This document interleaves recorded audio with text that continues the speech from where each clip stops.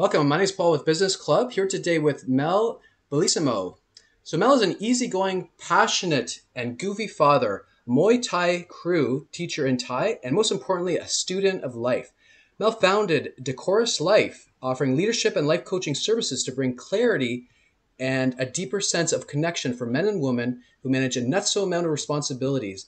In addition to co founding Dude Buddha, he is a partner at Health Genie where he provides consulting services to gym schools, and recreational facilities in setting up Muay Thai programs. Mel has been engulfed in Muay Thai for almost 25 years, spending two years training, fighting, teaching in Thailand. He was at the helm of successful MMA school in Toronto for over 11 years, where he supported thousands of people from entrepreneurships, executives, and children. Whether in outside the ring, ability to control the impact of emotions in order to achieve clarity and focus under stress is a major factor in winning. It was a very experience that he realized the deeper value of his martial arts training and coaching and supporting the lives of his members. This attracted corporate executives, entrepreneurs, and individuals to carry an incredible amount of responsibilities to seek the Kru for advice. His desire to be even of greater value to those individuals led him down the path of metaphysics, where he studied for five years and facilitated a wide variety of classes and seminars across the globe. He sat on international teaching panels as a speaker for a number of esoteric, martial arts, and business events. He is now working on his advanced extensive training towards certification in choice theory, leading management, and reality therapy. Mel will be joining us as a keynote speaker for Adapt and Overcome at uh, on uh, June 19th uh, on the live events, stories, and public speaking chapter. So, Mel, it's been it's great to have you with us today. Thank you, Paul. Really great to be here. Thank you so much for having me. What an honor. Uh, thank you so much for the opportunity. I do want to give a little shout out to Majid though and say thank you to Majid for uh, for bringing forward my name. Um, yeah, really great. I'm I'm super super super honored to be here with you, Paul. So Mel, it's it's incredible to hear about your background at peak level MMA, uh, Thai boxing. You're also an athlete. You play soccer and some other um, you know, weightlifting. So tell us about um, what we can learn from, you know, the, the discipline, the skills that you've learned from studying martial arts and how those can be applied to entrepreneurship and to business. It's a great question, Paul. I think that first and foremost, I want to talk a little bit about the core principles. I have a few core principles, and I call them the ABC of the chorus life awareness, balance, and clarity. And when you look at these words, um, I try to give my clients that work with me and, and, and everyone that, that comes into my path this idea of the importance of having these three things. So these are the core principles. When we talked about balance, Dr. Glasser in Choice Theory says we are an internal control system. And therefore, we should not let external psychology affect what happens in the internal. Uh, the, the, the more uh, metaphysical uh, or spiritual teachers would talk about us being a body, mind, and a spirit. So, my challenge to everybody listening is to say, when you talk about internal balance, we talk about exercising the, each point of the triangle of body, mind, and spirit. So, my challenge for all my clients and for all those listening is what do you do to exercise your body? What do you do to exercise your mind? What do you do to exercise your spirit? And that's the first component is balance. Because if you're balanced on the inside, what you manifest on the outside will be balanced. So there's the first core principle. Clarity is the second core principle. And how do we get clarity? Well, I work with my clients specifically on or at least at the beginning, talking about a vision board and the power of vision board creation. I do it from a different perspective, Paul. I do it not just by putting your goals. Go ahead. But I put it about. I just have to show you this because you're speaking of vision board. This is my vision board right, uh, right here. So totally believe Lovely. in vision boards. Um, See, totally, totally on with you. Perfect, perfect, Paul. And the way that I do my vision boards, and I do a free vision board workshop um, uh, once every quarter um, is I do I do it from the perspective of what I call desired state. I don't do it from goals. People have used vision boards for goals. I use desired state, and desired state is your dream. And there's lots of science that I explained uh, about it, but that develops the second core principle, which is clarity. So you've got balance, body, mind, and spirit. You've got clarity and vision boards. What that will bring you, Paul, is awareness. And in the world of metaphysics, we talk about that there's two kinds of energies energies for self and energies outside of yourself. And one of the biggest components in, in and I, I have this, this sort of coined line that I've used is awareness is the result of self love. And so while everybody's busy in their life and doing their things and having their job or having their career, the reality is, Paul, is, is that I've come to understand what my villain, the villain in the story brand, the, the villain in in in what am I, what's my evil nemesis? And the answer is programming that we believe that we have to uh, live a particular way, we have to get a good education, find a good pensionable job, find a partner, have 2.2 kids, work for 30, 40 years to buy stuff, then develop cancer and then die not taking the stuff that you bought with you. And so my philosophy is very simple. I'm and, and Albert Wong, who we spoke about earlier, was on my coffee and biscotti show on Friday. I have a platform, a live show on Twitch. And he said it. Albert, if you're going to share with all those in the Twitchiverse something about what you did with your life, what would what would be advice the advice you would give? And he said, do what makes you happy because you don't know how long you have here. So continue to do the things that make you happy. And that's the, that was a, a, true something that we've all heard. But when you when you're a chartered accountant like like Albert, who's gone and working, we talked about him working at, at the at the with, with, the junior achievements and working with uh, with uh, teenagers and high school students and even elementary school students with entrepreneurship. Um, is a true testament to him doing and, and, listening to his heart and fulfilling his soul's desires. And and that's sort of the abcs of the chorus life. And you know through the process of the coaching that i do and and my business you know it's funny because you asked me to write a paragraph. And i was thinking about this paul for a long time. And i said you know i've you read this wonderful sort of description about me being a goofy father. I've got a I've got an incredible three year old son, and here's the thing. You know who I am, Paul? I'm the guy that's going to help you get balance in your life. I'm the guy that's going to ask you the right questions so that you can get clarity in your life. And then in that process, we're going to talk about something called awareness, and you're going to get it. You're going to get self awareness, and you're going to get awareness for others' energies. And that's what I do, and that's who I am. I love that. And um, Mel, now I recently uh, heard a video talking about. Um, about telling your story, but also living your story. I was wondering if you could talk a little bit about that um, that recent video that you pre- presented about uh, about telling your story. Yeah, that's that's wonderful. Thanks for bringing that up, Paul.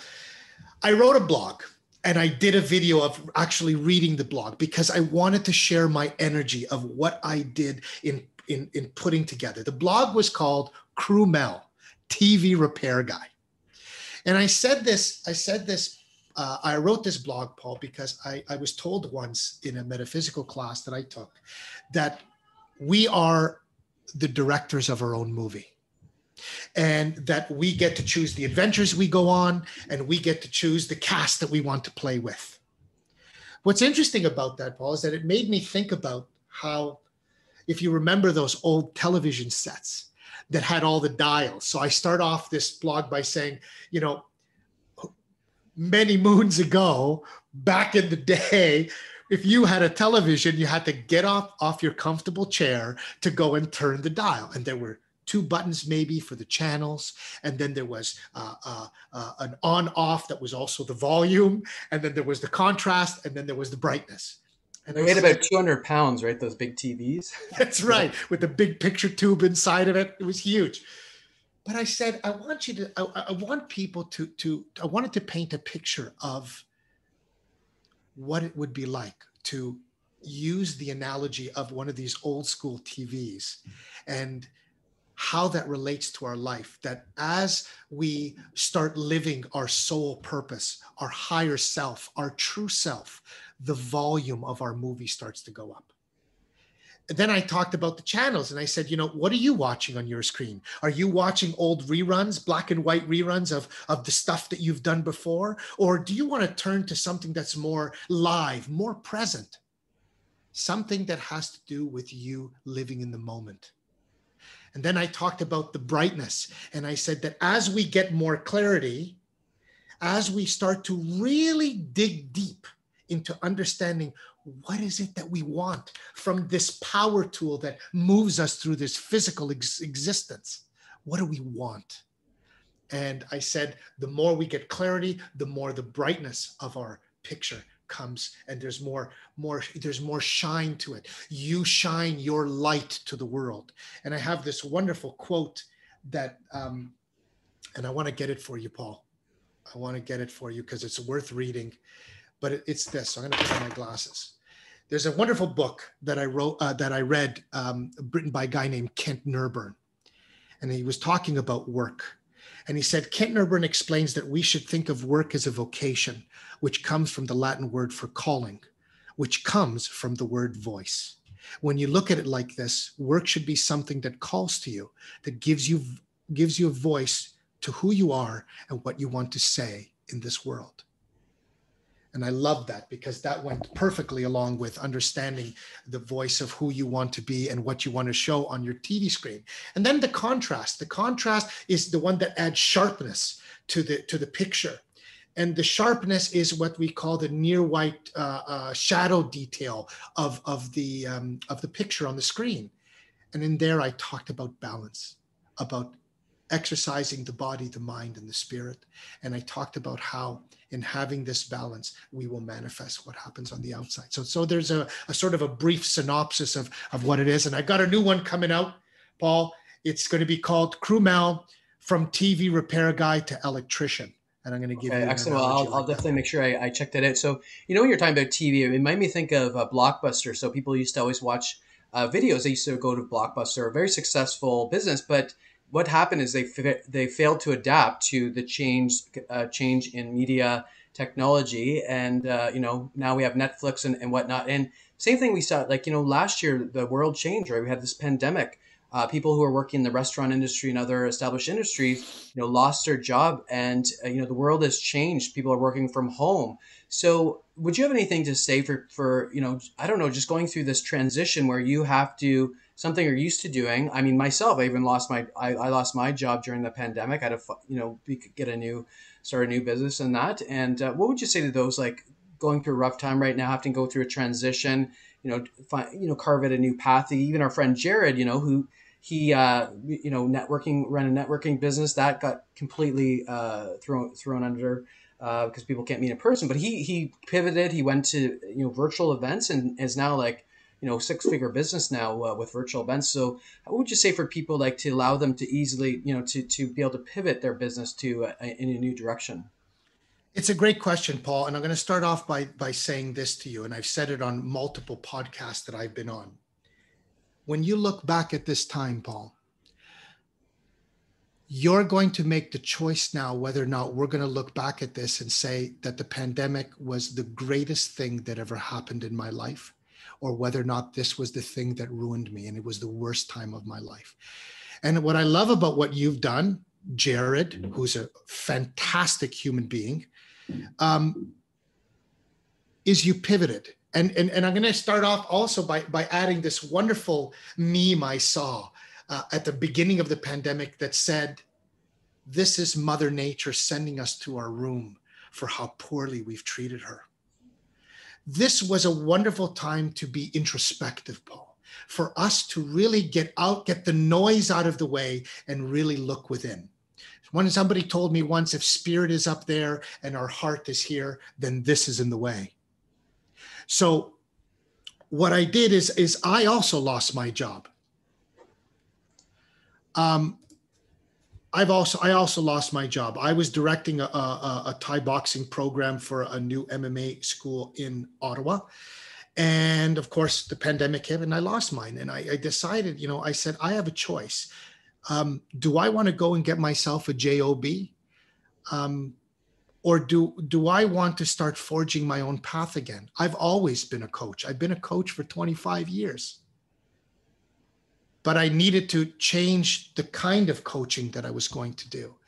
And I knew, I knew, Paul, that it was it was time for me to uh, get out of my comfort zone, um, push the fear, push through the fear of being a coach, and you know, people talk about becoming an authority in the coaching space. I'm not the Tony Robbins yet, but I'll tell you this: I think that the answer to your question is, I pivoted, you pivoted. Let's talk about what we pivoted to. What did you do paul to look to to really understand that i have to do something that i'm passionate about. I have to do something that makes me happy. And in the end paul that's what i did we all have to pivot you you brought a wonderful example example of blockbuster didn't pivot and what happened they went down the they they they went down the, the tube fast but this is what this time was about was about becoming a little bit more introspective. You've heard the story of the professor with the with that brings into the classroom the mason jar and he fills it full of golf balls and then he fills it full of marbles and then he fills it full of sand. Well, the truth is, bros, that he says in his conclusion of the story he says those golf balls in the mason jar represent the most important part of your lives and that's what the pandemic gave us an opportunity to sort of do some um, uh, inventory an inventory check-in of what's important to us and so i think that that's the key component in, in pivoting uh, during this challenging time on the planet yeah, no, I, I, love what you had to say. I, you know, and and so much what you said resonated with me. In fact, I gave a talk at our event last year, Adapt to Come,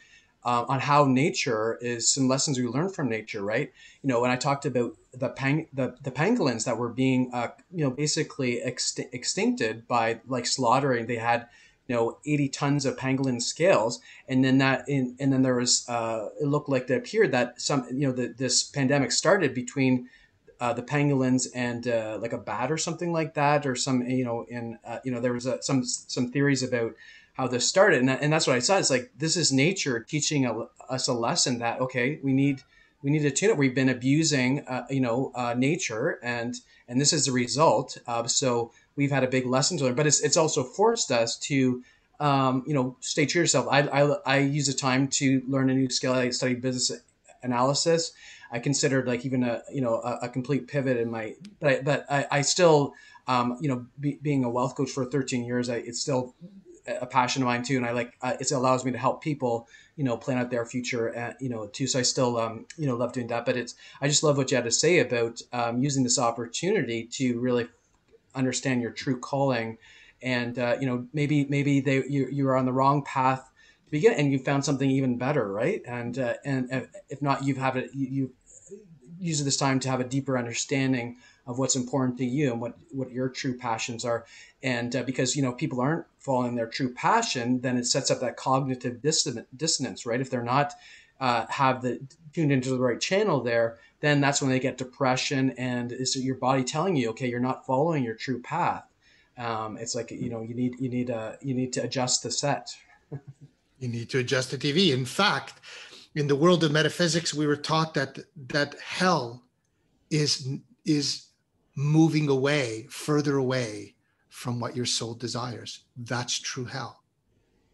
You're just doing things because you're looking at the shiny thing. You're looking at the money. You're looking at, you know, what this stuff you can buy and keeping up with the Joneses and having all the toys and all this other crap that that people talk about. And and yet the most time that we ever feel fulfillment is when we're aligned with what we're supposed to be doing and when we're helping others. That's the beauty and in, all the books that I've read about, you know, metaphysics and all the masters that walk the planet, you know, there's a wonderful, wonderful reference in, in a book that I am I really resonated with. It was a book by Neale Donald Walsch called Conversations with God. And it was a New York Times bestseller. And it was a three part. And I think he just released a four part maybe a year or two ago.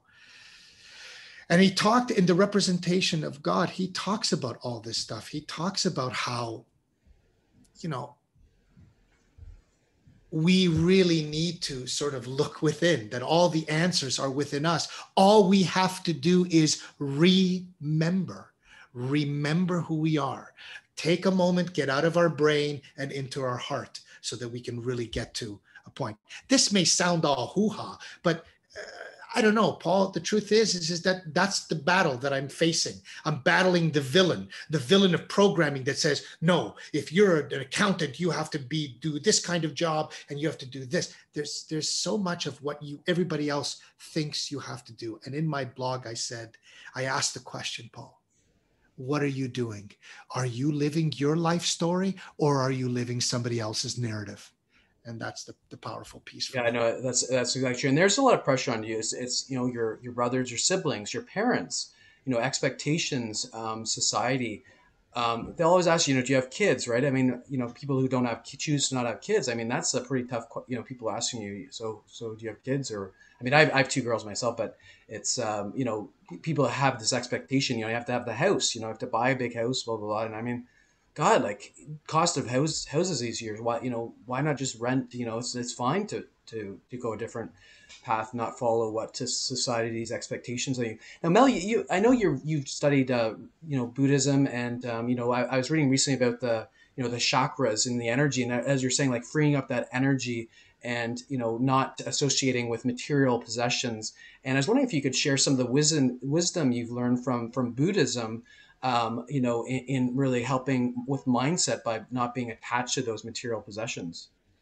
Yeah, it's a it's a it's a great question, Paul. I don't know that I'm going to give you a, a great answer other than to say that uh, you know this is this is where the internal journey, where where the journey of the self comes in. Um, I run. So the best way that I would answer you this is this: I run an anonymous invite only space for men called Dude Buddha and I run it with a guy who in Ottawa is, I call him the celebrity, but he's just a, an awesome human being, and his name is Tuan. And I run this group, and there was a post that somebody uh, um, put on the on the platform, and it was, "I'm a billionaire with a billion problems," and what he wrote on it is, he said, "I have I have more money than I, what I can do with." And he said, I would give it all up to have a relationship with my daughters. That I would give all the material things up. The pursuit of all of this is there's nothing wrong with being wealthy. And, and I'll give you a quote that was from the Bible that somebody told me was in one of my classes said, there's a quote that people say that money is at the root of all evil or money is the root of all evil. The part that they were missing out was that it's the love of money that is the root of all evil. Meaning that if you're chasing all these material things, Paul, and you're going to develop a heart attack to get it, it just doesn't seem worth it to me. And there's that wonderful quote from the Dalai Lama. He said, "What ex- what surprised him most about man or about humans?" And he said, "Man." He says because we sacrifice our health to make money, and then we sacrifice our money to recuperate our health and then he goes on and on talking about not living in the future. But the point is is that this is all this is all a, a, a, philosophy. I mean i don't many people don't even consider buddhism a religion. They consider a philosophy a philosophy to life. So i mean my experience paul in buddhism was living in thailand with no air conditioning no fridge one little bag you know one little suitcase and Paul, I was the happiest guy on the planet because the only stress I had was, geez, I wonder what I'm going to eat today. that was it, man. I trained six hours a day. I ran 72 kilometers a week. I trained to fight on the king's birthday in northern Thailand in Chiang Mai. And I was the main event on the card. And I represented Canada. And it was all about nothing to do with material goods and all about living the experience. So, you know, when you talked about housing and, you know, everybody says we have a house, what about if you rented, but you traveled the world? Would, would that be better? As opposed to being house poor, would you rather just rent and go live your life? To me, that makes a whole lot of sense. Oh, yeah, no, I love it. I mean, uh, that's a sort of a fantasy that I have is to travel the world and, uh, you know to uh, you know to live that just follow your your passions it's um you know it, it's true you know definitely you want to live your you only have one life, right? Might as well make it count. So um, this has been fantastic, uh, Mel, and uh, so great. Uh, grateful for you to share your insights with us today, and uh, it's been really enlightening to uh, you know to hear your, your thoughts and uh, and also inspiring. You know, with the success you've had in MMA and uh, you know how you've been able to even adjust your own business to that. Super excited, looking forward to hearing your talk at Adapt and Overcome on uh, July uh, on June nineteenth, and uh, you'll be there with your two buddies Jared and Majid, and that will be a, a fantastic talk. So so excited to uh, to to hear that, and uh, and really appreciate your time to be with us today. Thank you, Paul. Really appreciate it. Thanks so much, brother. All the best to you.